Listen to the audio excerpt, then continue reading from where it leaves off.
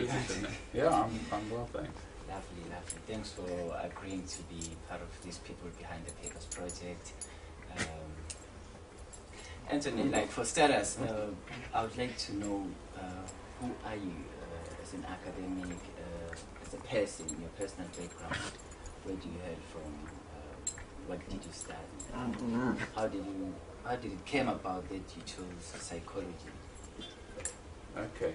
Um, well, there's, I mean, there's a lot of story there. Um, I grew up in the Eastern Cape, around East London and Port Elizabeth, uh, and that was the sort of end of the apartheid era. So it was, it was really tense there. I mean, there was like a lot of like police and violence and political repression going on, and that that informed a lot of even my current thinking. Is seeing that those kind of social problems around me and um, ended up going to Rhodes um, to study literature, actually, not to study psychology, um, and ended up just finding psychology interesting.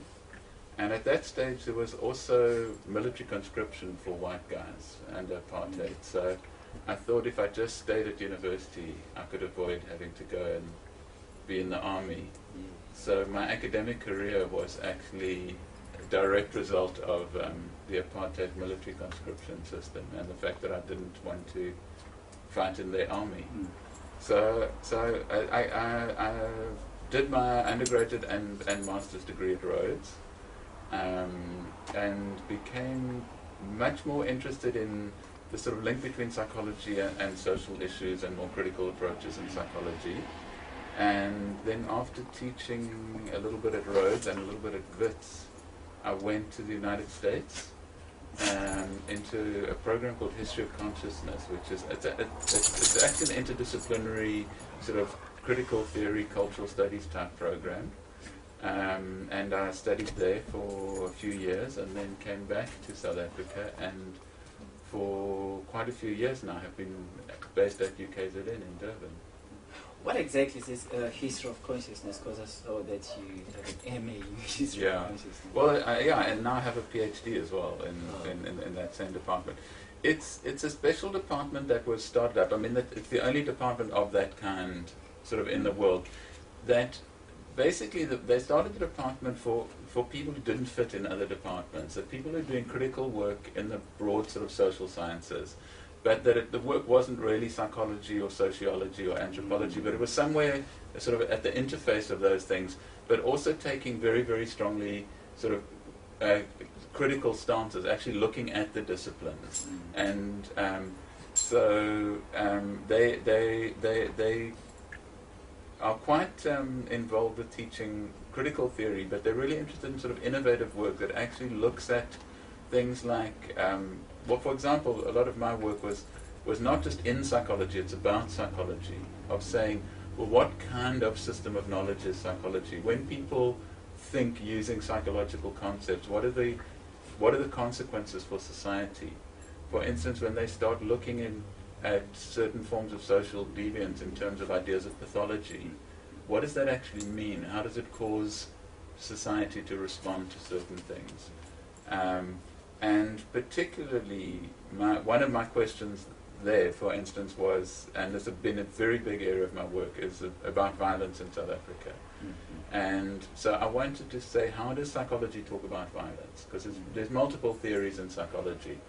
And I wasn't interested so much in testing any of those theories, but of saying, when you adopt this kind of theory, how does it make you look at the problem? And when you look at the problem that way, how do you end up understanding it and trying to intervene in it? So it's really um, uh, a sort of quite a, a theoretical, almost philosophical view of the discipline, rather than simply conducting research within the discipline. It's the idea that you can actually look look at the discipline the way you would look at a social problem, and and think about it. And that's where my sort of big interest in trying to promote critical psychology in South Africa comes from. Um, and so History of Consciousness was the perfect place because they, they were really interested in that work and they said that it's okay that it's sort of it's not in psychology but it's about psychology um, and it and it uses quite a, a broad range of of um, theoretical frameworks from, from, from all around. I mean, you know, um, cultural studies, critical theory, social constructionism, whatever. You can just all bring it together and, and try and and try and generate something new and interesting. Um, and so there was enormous flexibility for me uh, studying there. Um, so, can you say uh, your history, like uh, growing up in West in Eastern Cape and lecturing there and going back to going to Wits and coming back to KZN and going to the, US? Did it influence the way you kind of do stuff and the way you with? Yeah, I think every every place has a, a, a, brings a particular element and brings a particular perspective, and in that sense, I think, I mean, I've been very fortunate to have been able to move around a bit, and I think that's that. I mean, that's been a really important part of my intellectual development is is having the opportunity. I mean, I, I, I initially, you know, really developing in, in the Eastern Cape, but um, also, the time I spent in the United States was interesting not only academically, but it was interesting culturally because it made me see things about society that weren't visible to me growing up in South Africa. Um, I mean, for instance, when I was growing up, a lot of the idea was, well, what's wrong in South Africa is apartheid, and when you get rid of apartheid, everything will be fine. And it was interesting going to a country like the United States where they don't, they, they don't have the, the same, I mean, they have certainly a history of racism, but, they ne- but not, not in the kind that we had here. But seeing that there are fundamentally different social problems there that are, that are in, um, quite difficult to identify, and, and often our image of that society doesn't show those. But in fact, it's an incredibly um, exploitative and violent society in a lot of ways. And it was interesting seeing that, going from the myth of, you know, the world's democracy and Yeah. freedom and and uh, uh, successful economic system and having those kind of really utopian even views of the United States and and and realizing once you're there that in fact it's the embodiment of of a range of of shocking social problems. I mean. Homeless people down the streets in the major cities of the United States, that and that's not the impression Mm. that we have on them. So Mm. so that got me thinking a lot more about about the economic side of society. I mean, I thought about other angles. I thought about prejudice and things like that. But being in the States got me thinking really about capitalism.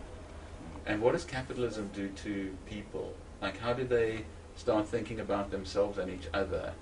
And that was really, really useful because it mean, meant when I came back to South Africa, I started noticing how much the the democratic changeover was not just a change of rights and things like and government. It was also a change of South Africa becoming much more embedded in the global economic system, and all those elements of media, consumer culture, um, actually started becoming more and more important parts of young people's lives. The idea of of um, people having really defining themselves in terms of their economic aspirations rather than other sets of values.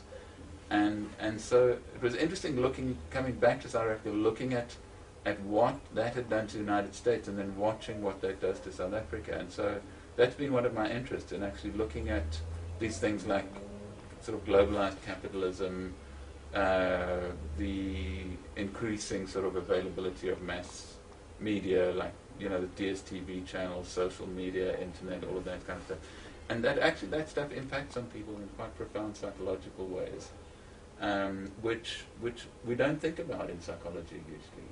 Um, we, we we you know we focus on the small interpersonal scale, often the intrapsychic stuff, and and saying, uh, well, what does it mean to be part of global capitalism? As, and what does it mean psychologically? I mean, it's often posed as a political, economic, sociological Yeah. question. And I'm really interested in, in then saying, well, what if we pose that as a psychological question about the shaping of identities, of values, of ways of interacting with, with people around us? Um, so that, yeah, that was a, a big influence. But, but the other big influence was probably just the, the Eastern Cape and, Mm. and, and the, um, the real conservatism, the conservatism um, of of growing up in the Eastern Cape at that particular point and feeling the real need to develop an alternative to that. And what does it mean to do, to, to, to criticize the, the, the, the sort of the, the values of the particular culture that I come out of? Um, and that was quite interesting. Um, my stay at Wits was, was quite brief. Um, and it was just a, really the experience of being at a very vibrant intellectual um, kind of space um, and, and, and, and being inspired by that. But, um, but I was never a Joburg person. I'm a bit of a country boy, you know. yeah. But like uh, during your formative like academic career, Yeah. who are the people who you can pick up and say uh, these are particular people who influenced my Yeah. thinking? Yeah, no, they're, they're very definite people. I mean, certainly, um, as I started reading broadly as an undergraduate, uh, people like Don Foster, his work was, was important for me, in, um, his stuff at UCT. Grahame Hayes um, and his work in the journal Psychology in Society, PINS. And that was one of the things that made me want to come to, to KZN, is um, that, that, that he'd been really keep, keeping an exciting tradition alive. And then at Wits, of course, there were there were great people. Um, Martin, who um, was really just been a, a huge intellectual and and personal influence on me in terms of of of the, his his consistent um, kind of engagement with uh, quite radical ways of thinking in psychology. Um, but also certainly people like Gill Eagle um, and, and many other people um, around there. Derek Hook was, was also around um, as a student at that point, but, but already quite uh, making an intellectual impact. So there's, there's, there's, there's, been, there's been many people, um, but I'd say those, yeah, those must be the, the, the key ones at that stage. I'm, I'm kind of thinking now, uh, like from a, a personal perspective and um, from hearing some students talking, the journey uh, when, like, uh, the interface one has to choose between uh, I want to be an academic, I want to be a researcher, uh, and I want to be clinical psychologist. Mm. Did you ever had, uh, did you ever came to that crossroad? Use. Yeah, sure. It, you know, it happened to me in a in a different way than I think it happens to other people. Um, you know, I always, when I was at school, I always just wanted to go to university. I had in my head, university is going to be great and it's going to be interesting and intellectually stimulating. And I hated high school. I mean, I just wanted to be out of there. And so in my head, it was like, just get through high school, get to university, and and there'll be like these like fascinating people exchanging ideas, and it'll just be so uh, exciting. And I got there, and it wasn't quite that. I mean, it was Yeah. cool, but it wasn't. It wasn't as great as I thought it was going to be. But there were a few key people that influenced me. Um, one of my English lecturers, Don Maclennan, had a, he really inspired me intellectually.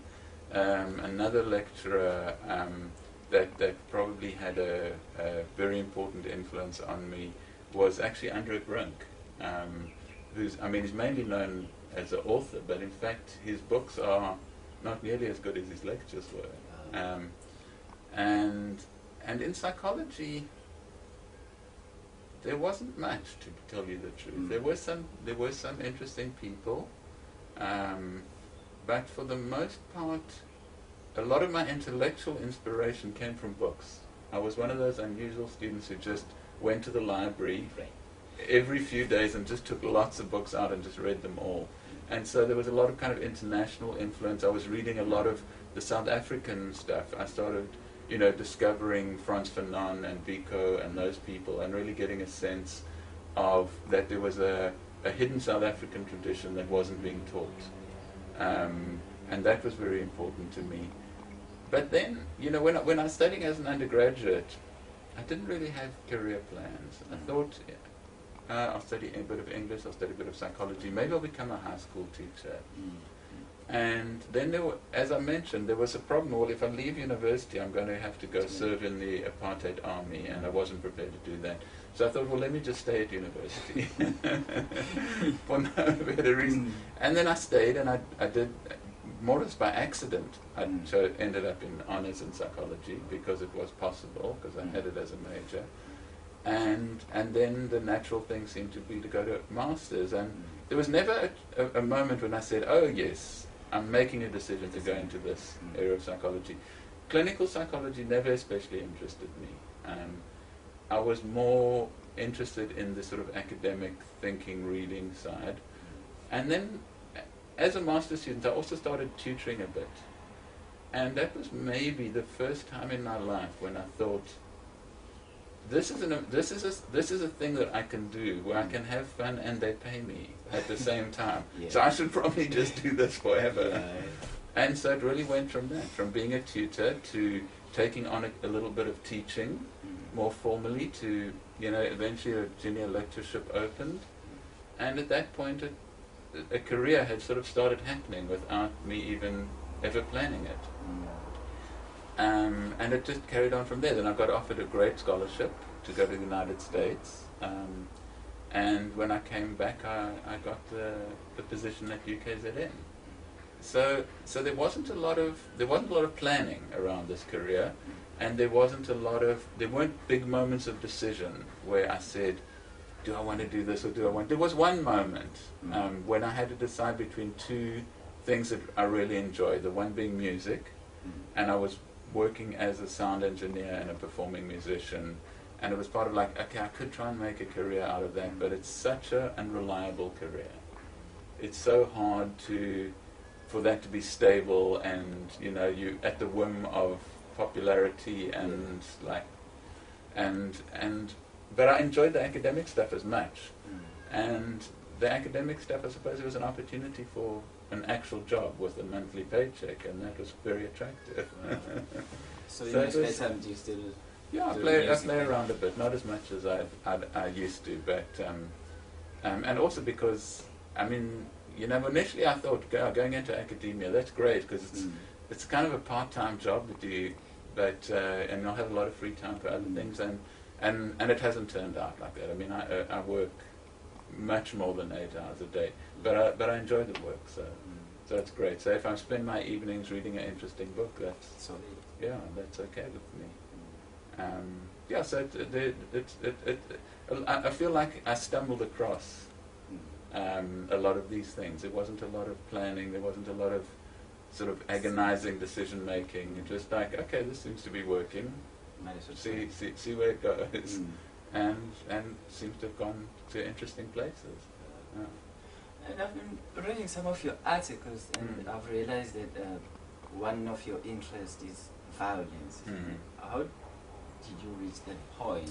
Did the history of growing up in Eastern Cape, uh, witnessing apartheid, and Mhm. going to U.S. and Mhm. watching uh, homeless people Mhm. and uh, the whole homicides in the U.S. Yeah. like influence you Yeah, say, I you think know a, a lot of it had to do with with growing up. Um, uh, in the early years of my life, it, it, I mean, I always the question of violence, even as a as a young teenager, worried me. Um, partly because the, the, the I mean, our society was so violent at that point. I mean, you know, and I can I, I remember little things. I, I used to I, I used to walk from my house to the public library in town. It wasn't very far a half an hour walk, and I would walk past the police station every time, and I mm. would, I would actually hear people being assaulted in the police station, and I, maybe I was 12, 13, 14 years old, and it shocked me, you know, and I and it and I would go home and I would be worried about what was going on. Why were I hearing those mm, screams? and and and that shock never left me. I mean, it just mm. became something I worried about. But but the other thing is, I mean, people talk about about that moment of South African history in terms of like oh, yeah, apartheid. We all understand the police brutality, but also growing up in a almost entirely white community, a privileged community, and the incredible violence within that community. The fact that at school people were just beaten up mm. all the time. I would hear the kind of the neighbors like beating up his wife. It seemed that, that, that no one tells the story of the other forms of violence in that society. And, and, and I also thought about that a lot. I used to wonder, you know, what, what are these what are these bullies actually up to when they come looking for kids in the park to beat up?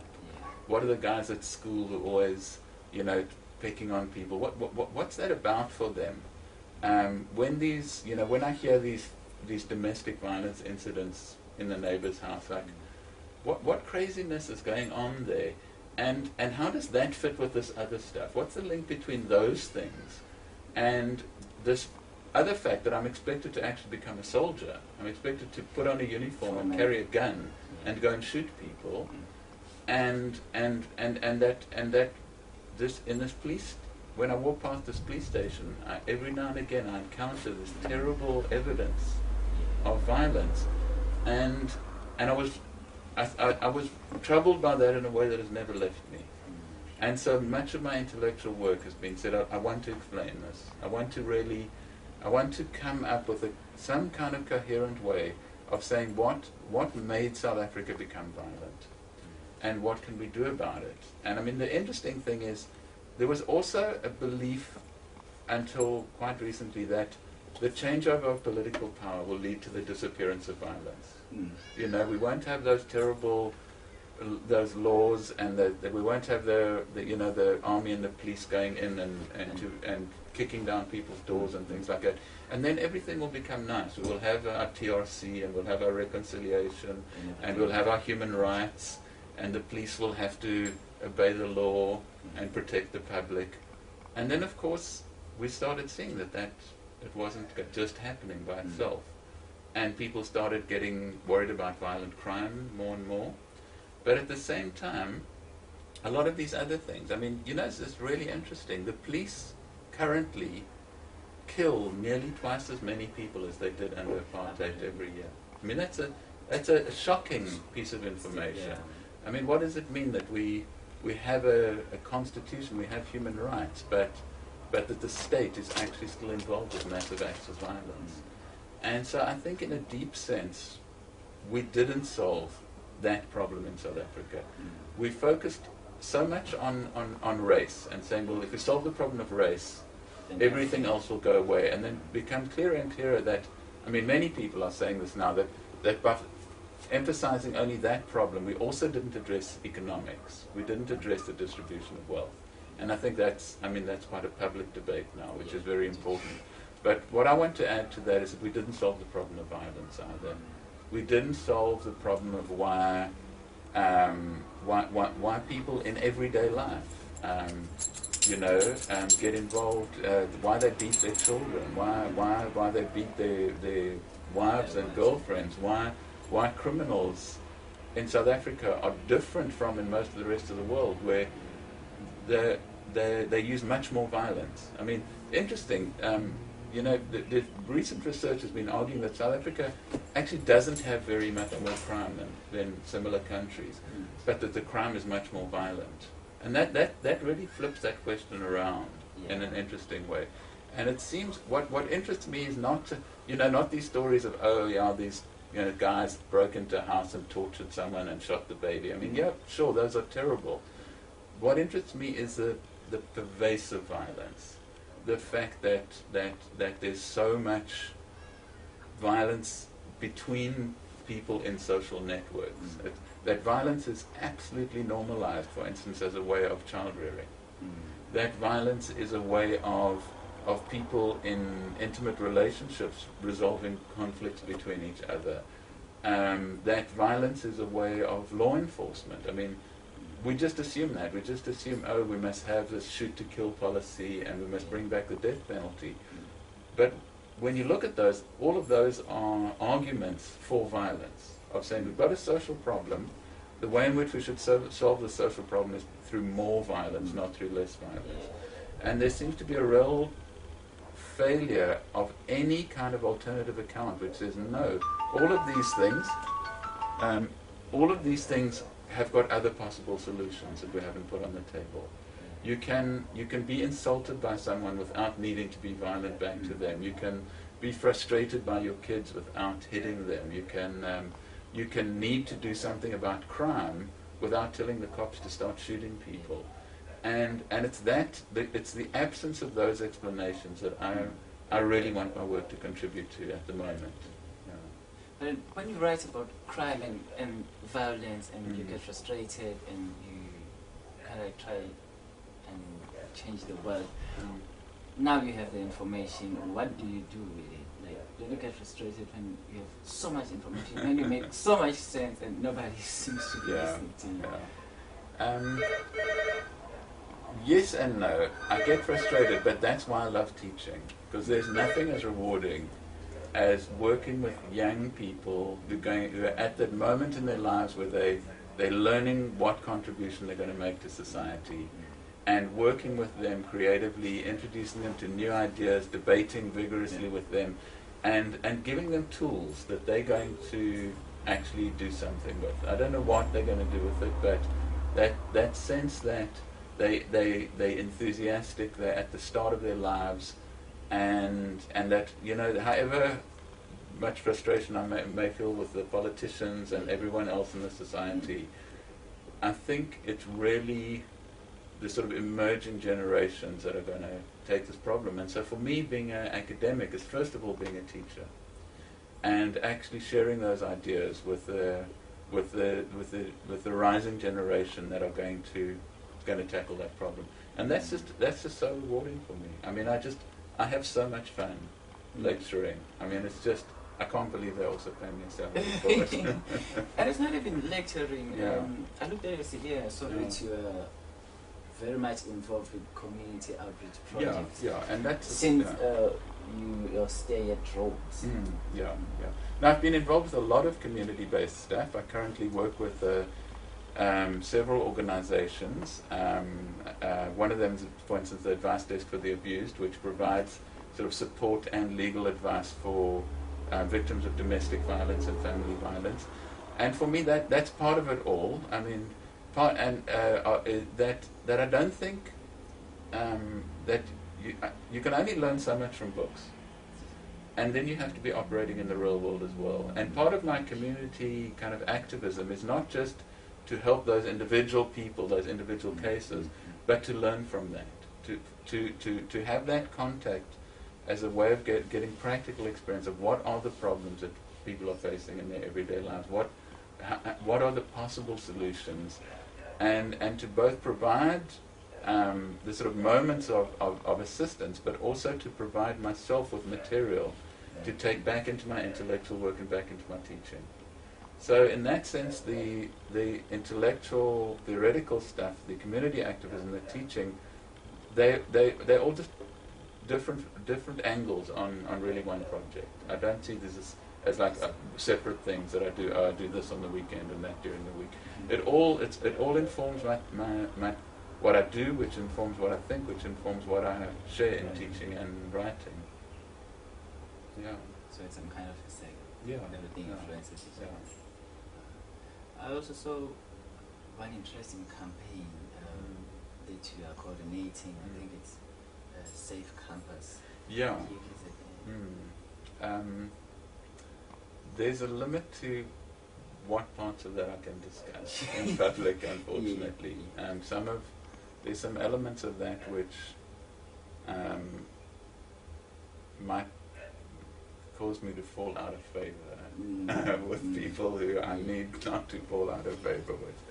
Um, that's an interesting project. Um, it's a typical kind of thing. I was working with my students, uh, and and and I, uh, you know, just trying to talk to them a lot about what are the practical problems they're facing. One of the things they started talking to me about a lot was the fact that they they experience certain kinds of harassment and violence on campus.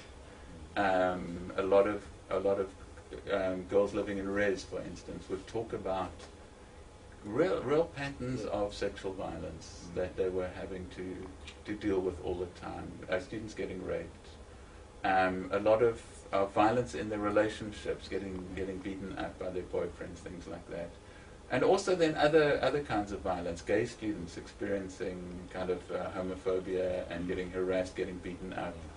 Um, other problems, uh, African foreign students experiencing xenophobia, Mm. being told they aren't wanted here, being threatened with violence. Um, even ha- had an incident once where one of our se- the, the university security guards threatened to kill one of our master's students from the DRC. I mean, shocking. It's a shock. Um, and and so I started saying, well, wait a minute, let's work let's work in this in, in, in this community, in the university community, and, and, and see what we can do. So, so there were also a number of angles to that project. One of the projects was just to, to um, support the students who wanted to mobilize and form their own student organizations and their own campaigns and have their own support structures, which was, um, that was quite um, an, an interesting part of the project. And the other part was to say, well, look, let's do the research. I mean, if I'm hearing these stories, Mm. I mean, the anecdotes are, are very worrying, but let's, let's, let's have some substantial research and, and, and, and, and really analyze what's going on. What, Mm. what, what, how serious are these problems? To what extent are they occurring? Um, so we developed that network, and then we also said, okay, we need to network amongst the service providers, Yeah. the student counseling, the security, um, the, the student services um, within the university. Let's, let's get everyone networking much more closely and much uh, with a clearer understanding of how to address these problems. And, um, and, and that, so that, that's what that project's been about.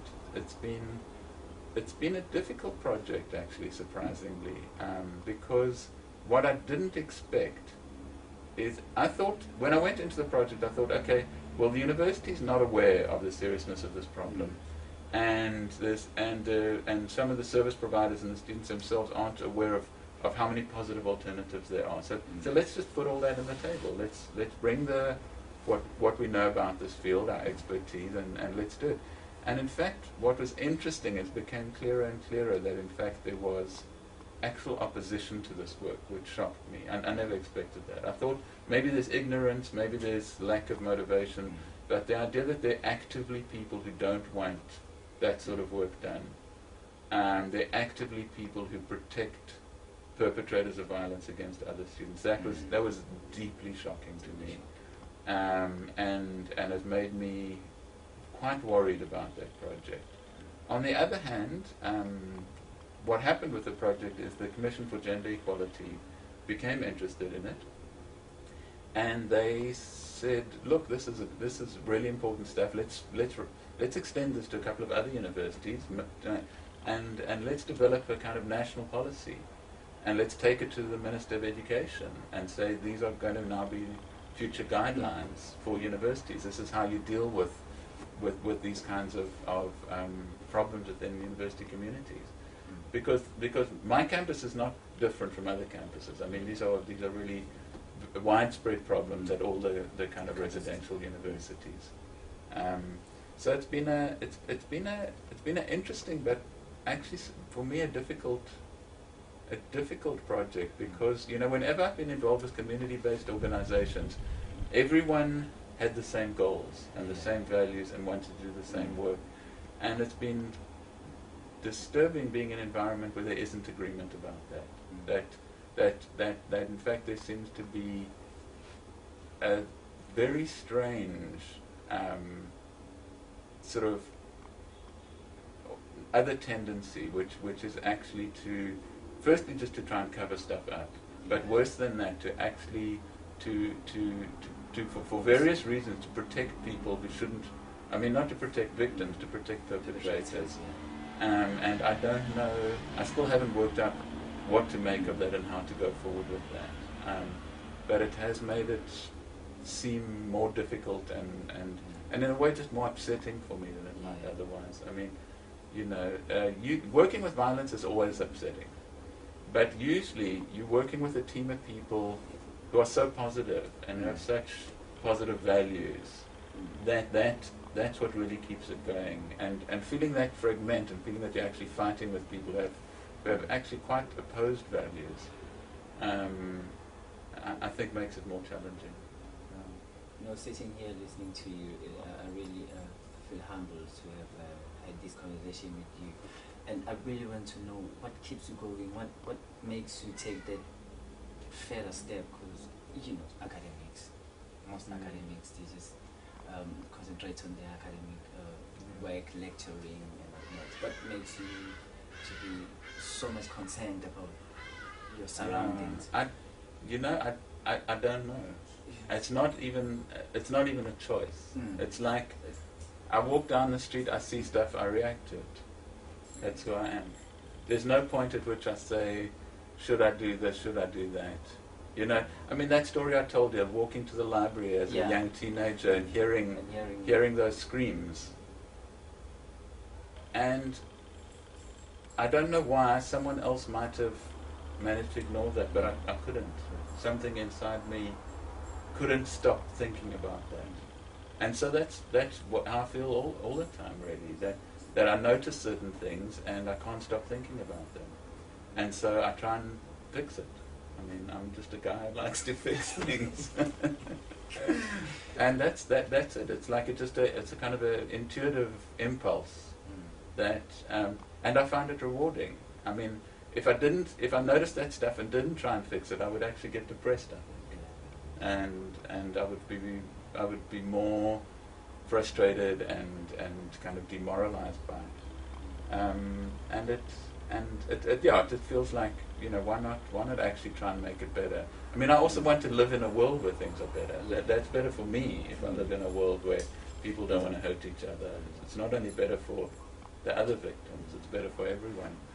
And I think that's that's one of the things that we've lost a little bit in South Africa. You know, um, the interesting thing was, you, you know, when, when, when, when South Africa was going through a very, very bad time at the end of apartheid, and there was a lot of political repression, you know, it had one good outcome. I'm not saying it was good because it was terrible, but it had one good outcome, is it made people want to change things. You know, uh, like people were just like, no, we can't carry on like this.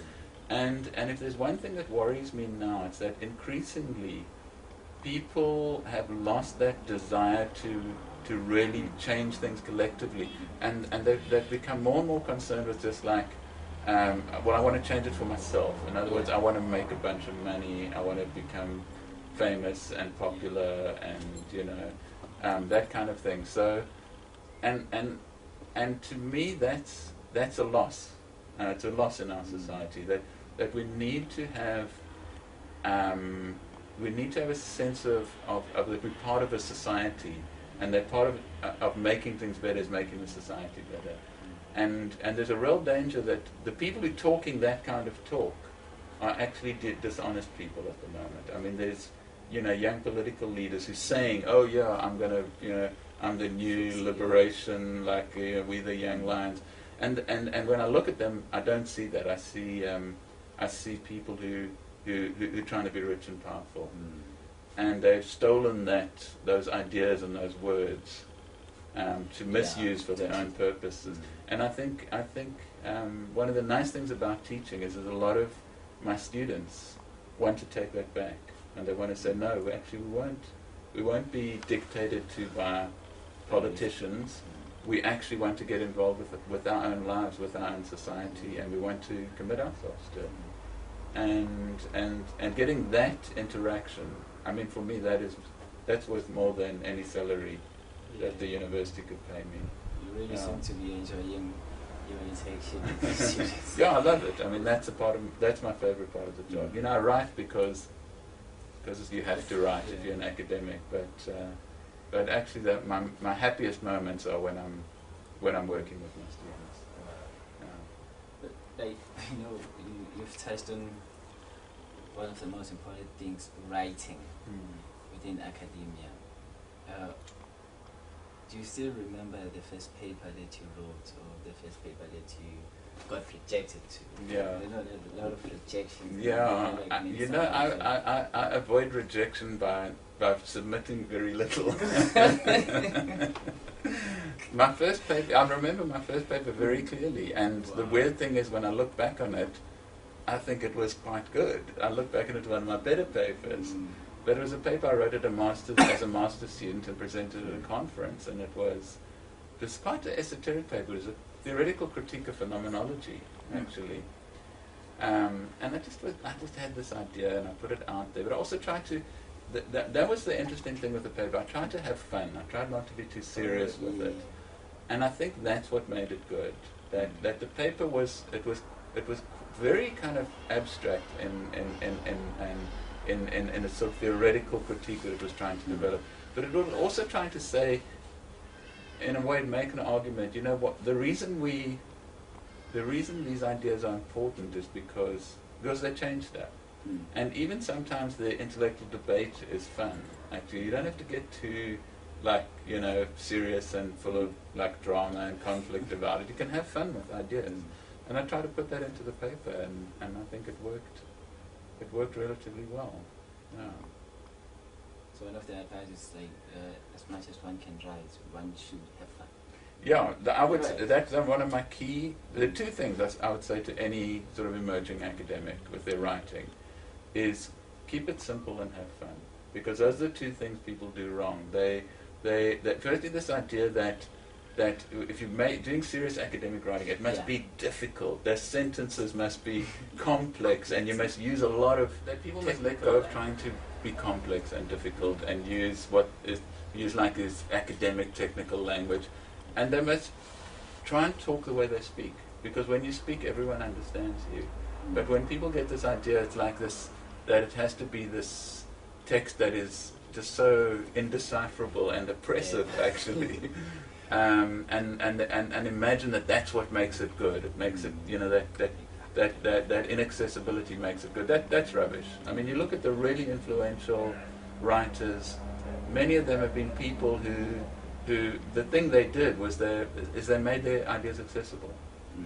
And for me, that's also, it's not just that um, the, the, your work becomes more accessible, that it, it, it, more happens then. If, if, if, if people can just read what you're doing, if it, if it can reach a wider audience, it has, a, it, it has more effect in the long run. And it's, and it's less s- strain to write, you know, you just don't have to like get your head into that thing. And then also the idea that because it's, because it's academic writing, it's got to be it's got to be very dry and very serious, mm. you know. And this whole thing, oh, you must never use like the first person. Everything must be scientific and neutral. And why? You know, that's mm. rubbish. I mean, if people, especially in psychology, I mean, why are we doing psychology? Because we want to understand each other. Yeah. What's important in psychology is our subjective experience. I mean, sure, we want to theorize it in interesting ways and research it and understand it, but but that's what's important. So why not put that in the work? Why not put yourself Yeah. as an author in the work? And and I think this is why you know um, people like Martin Blanche have, have been really good at this uh, of, of, of, of, of bringing a personal element into the work and and of, of, of saying that that's okay. You, you know, we're not trying to do these kind of uh, weird, arcane, abstract scientific articles for minor journals Mm. that no one will ever read. We want to write stuff that that we enjoy writing and that other people enjoy reading. I mean, to think about that question, is the person reading this going to enjoy it? I mean, no one tells you to ask that question. They're like, oh, is this rigorous? Are the referencing systems correct? Is your methodology sound? Yeah, okay, cool. Those are all important questions. But ask yourself the question: Is uh, is the is, is the is the person going to who, who's going to look at this? Are they going to are they going to understand it? Or are they going to enjoy it? If you're going to if you achieve those two goals, you've got good writing on your hands. Um, but there's something we have to let go of. I mean, even I know I tell my students this story, and they they don't really believe it. They're like, yeah, sure, sure, sure, but but really you have to be like difficult and serious and, and, and all of that. Um, and and you do you have to be rigorous. I mean, it's not you know you're not just making up fairy tales. You do need you, you do need rigor. You do need to understand your subject well. You do need to be clear in your grasp of the concept and in your analysis. Your methods do need to be sound. Yeah. But um, but that's the background, Mm. and the real thing Very- is communicating with people and enjoying communicating with people. Mm. That's what writing is really about. Yeah. Yes. Yeah. Mm. Beautiful.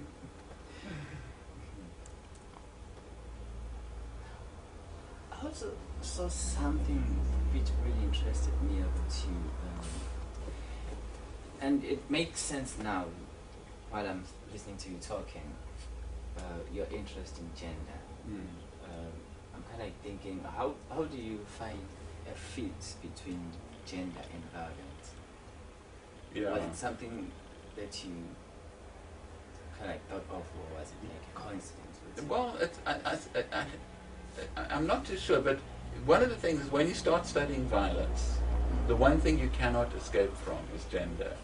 I mean, the first thing to know about the, the most robust statistic about violence is that no matter where it happens in the world, no matter when it happens in history, the perpetrators are usually men.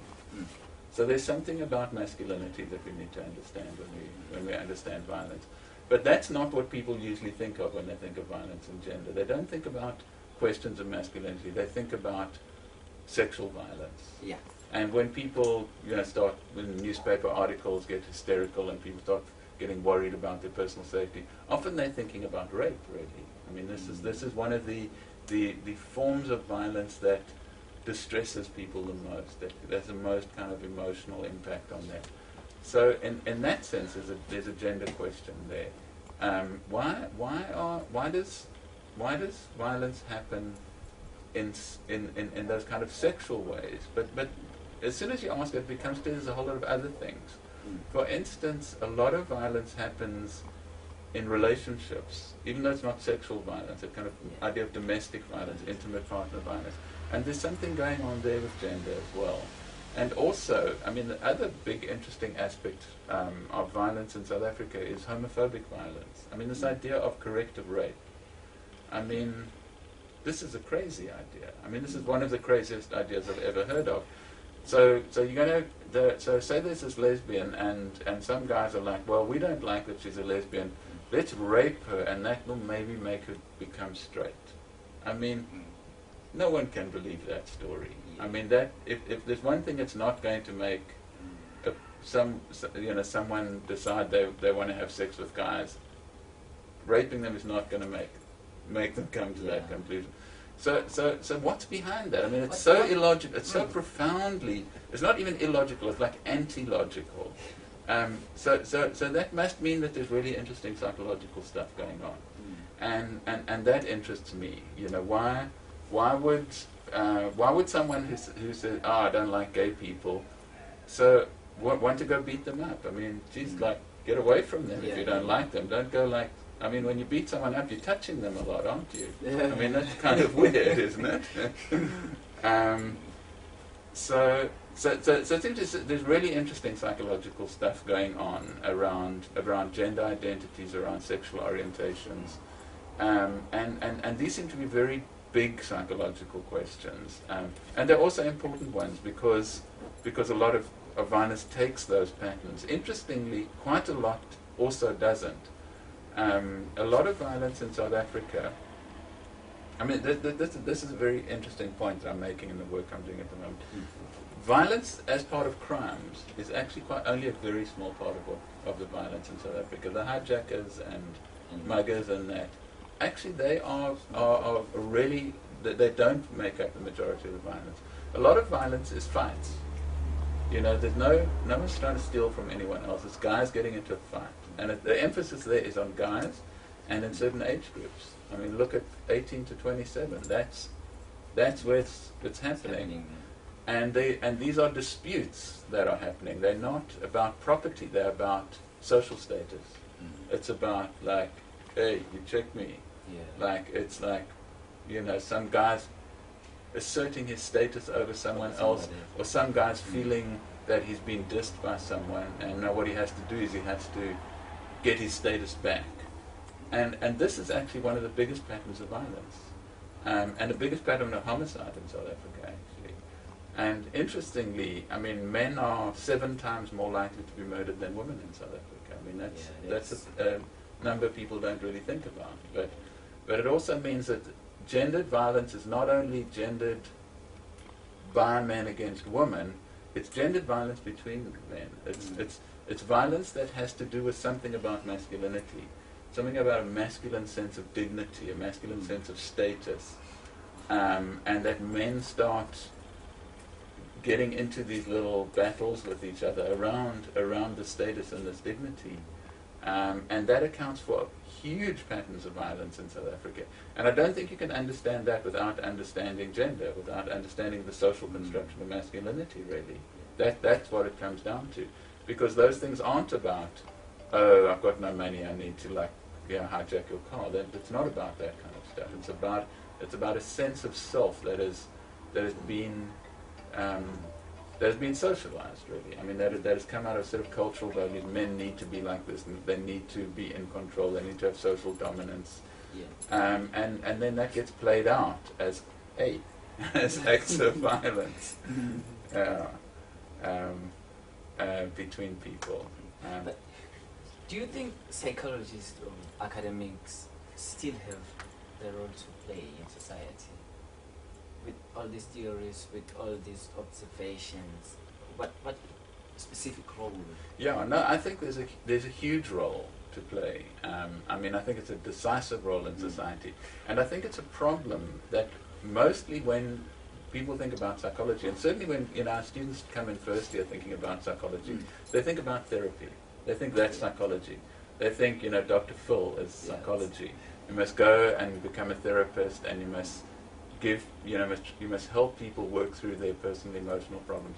Sure, that's that's fantastic. I'm all behind that project. But there's a there's a project that's bigger than that, I think, which is psychology can understand certain things about people. It can understand how certain things go wrong. Um, once again, if we bring it back to this theme of violence, psychology knows a lot about why some people become violent and others don't. They know about right down from the earliest attachment relationships in infancy through to, to social learning in adolescence, through to peer group pressure, through to the social construction of gender. They know all of this stuff. I mean, the literature's there, the research is there. What they really need to do is they need to be feeding this back into the, the social decision makers. I think that's, that's the gap that psychology hasn't taken seriously. I mean, I think, you know, when, when, when people in government start making plans about stuff, they bring in their economists and they bring in their development theorists. And I think they need to be bringing in some psychologists as well to say, you know, if you want to, of course, you must have your economists and everyone there, but there's some problems that we could really do a lot about simply by utilizing what psychologists already know and contributing it to the social transformation process. And I think that, that I'd like to, to, to make a contribution there in, in, in, in, as much as I could. And I think I'd like to see psychology as a discipline making a much bigger contribution. Um, and there, yeah, there's, there's, there's, there's, there's just a huge amount that we know that, that, that could lead to better decision making, better social policies, forms of education, forms of child rearing, social welfare policies.